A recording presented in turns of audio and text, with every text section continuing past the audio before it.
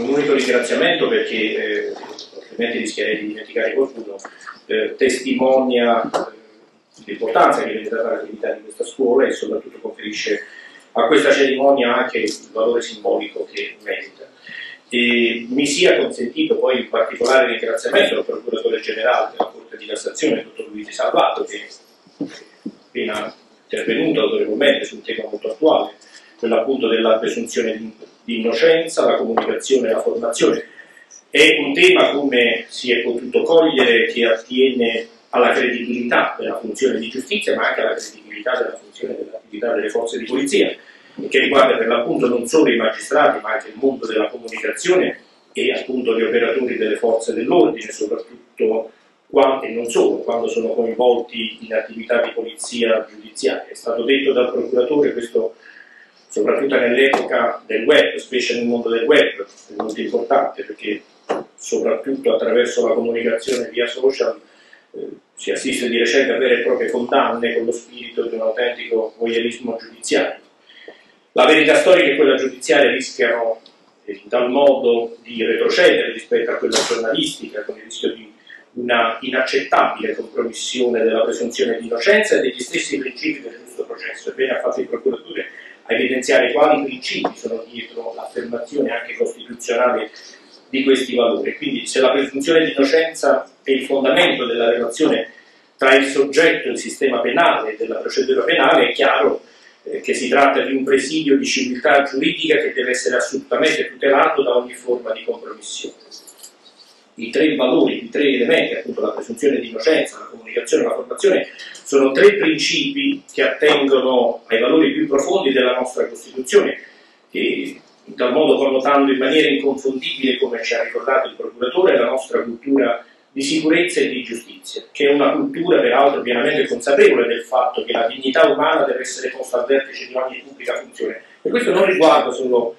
le attività della comunicazione, riguarda un po' tutte le attività delle pubbliche istituzioni, delle forze di polizia, non è una scuola di polizia interforze, eh, penso a tutte le attività in cui si afferma l'autorità dello Stato che pongono in una civiltà come la nostra l'esigenza di un bilanciato equilibrio rispetto a quelli che sono i diritti fondamentali delle persone, penso quando si esercita ad esempio l'elemento importante della forza pubblica.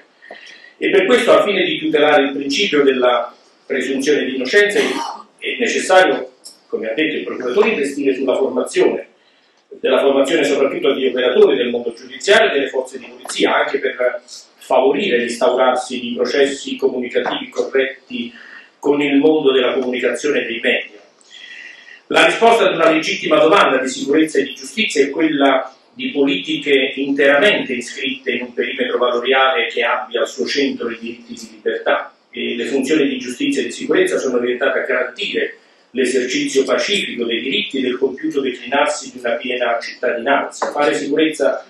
e giustizia quindi vuol dire essere parte di un umanesimo che dall'entrata in vigore della Costituzione non ha ancora smesso di dare i suoi frutti e di produrre i suoi effetti. Sicurezza e giustizia eh, come tasselli indispensabili di un progetto che vede al suo apice il valore dell'uomo e dei diritti inviolabili sanciti dalla nostra Carta Costituzionale. Il nostro modello di sicurezza, lo dico qui, in questa scuola si fonda, come è noto, sul coordinamento ed è un concetto non lontano dai temi e della finalità di cui stiamo parlando, è un concetto che nell'ambito delle forze di polizia è emblematico di una moderna e democratica cultura della sicurezza. Questo perché il coordinamento è uno spartiacque, una cesura tra due diversi modi di fare sicurezza è una sintesi, sintesi lessicale in cui la funzione di polizia si riconosce appunto democratica e plurale. E la scuola del coordinamento delle forze di polizia è un esempio concreto. In queste aule il concetto di sicurezza si evolve da oltre 40 anni nella sua istituzione, accompagnando i mutamenti della società e delle sue sempre rinnovate sollecitazioni. La sicurezza è un'istanza antica quanto l'uomo, ma destinata a modificarsi e a modellarsi sulla spinta della rapida evoluzione degli scenari sociali e dei, modelli, e dei modelli di convivenza. Anche questo abbiamo colto no? dalla produzione che ci ha fatto il procuratore Salvato. Non è senza significato che in alcune delle costituzioni originarie degli Stati Uniti eh, il diritto alla sicurezza sia proclamato accanto al diritto alla felicità, è un accostamento che ci dà il senso di quanto nella storia delle comunità sia radicata la domanda di sicurezza e, la sua, e quanto la sua percezione sia legata inestricabilmente al concetto di vivere la sicurezza quindi come precondizione della libertà dei cittadini. Ed eludere questa domanda significa accettare il rischio di una pericolosa frammentazione sociale, di un rinchiudersi in piccole patrie senza obiettivi, di un ripiegamento individualistico senza alcuno slancio verso forme di partecipazione democratica.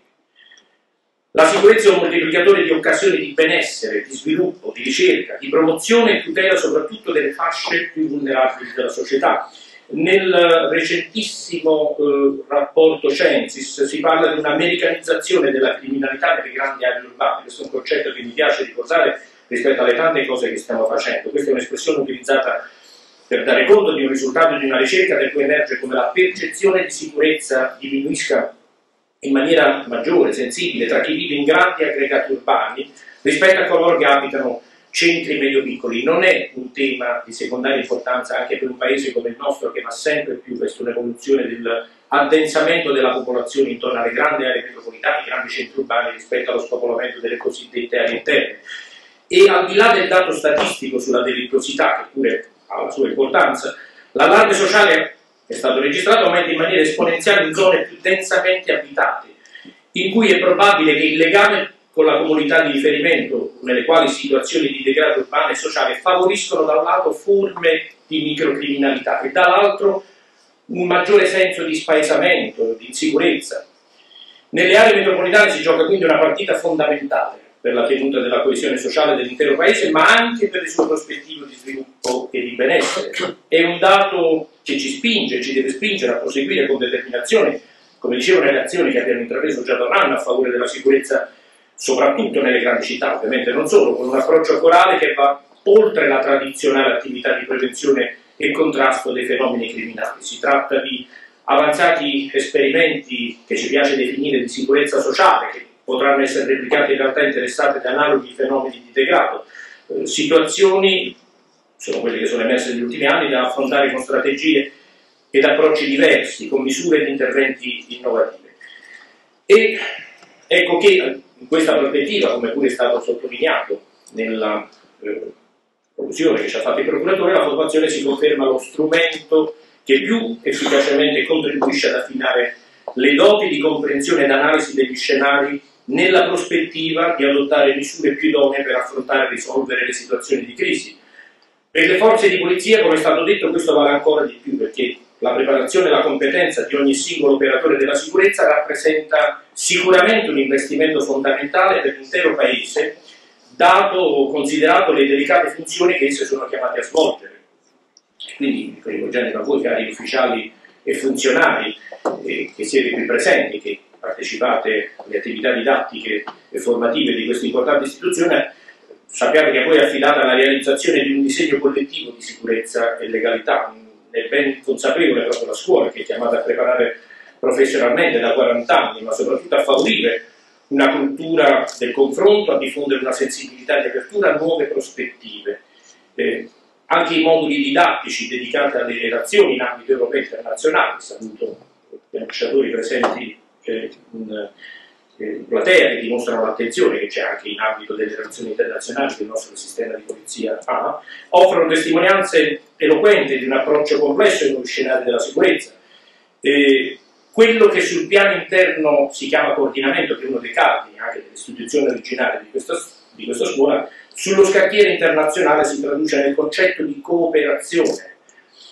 Ciò che è accaduto nel mondo a partire dal settembre del 2001 ha convinto anche i più scettici che la strada del coordinamento e della cooperazione in ambito internazionale è l'unica ad avere una maggiore possibilità di successo rispetto a minacce asimmetriche, in primis quella del terrorismo che si sta riaffacciando in maniera insidiosa e destabilizzante anche nelle città europee. E quindi è lungimirante l'introduzione in via sperimentale nell'ambito del corso di alta formazione, come è stato indicato nella presentazione, di due moduli formativi in materia di criminalità economica e in materia di criminalità informatica. Se c'è un dato che emerge dalle più recenti indagini giudiziarie è il fatto che il riciclaggio, ad esempio, costituisca spesso oggi la chiave di volta, il cuore, il moltiplicatore di forza di molte delle attività della criminalità organizzata e non solo. Pensiamo alle sue connessioni con il terrorismo internazionale, con il traffico di esseri umani, con il cybercrime, ma su tante altre attività delittuose che si compiono sul territorio nazionale non solo. In definitiva, le sfide che ci attendono non sono semplici, la velocità e la complessità dei fenomeni ci chiamano a traguardi eh, sempre più impegnativi. Eh, la professionalità e la responsabilità sono i due poli entre i quali oggi i funzionari e gli ufficiali delle forze di polizia devono adempiere il proprio servizio a tutela delle istituzioni democratiche e di difesa dell'ordine e della sicurezza del Paese, come nel codice eh, originario delle rispettive istituzioni.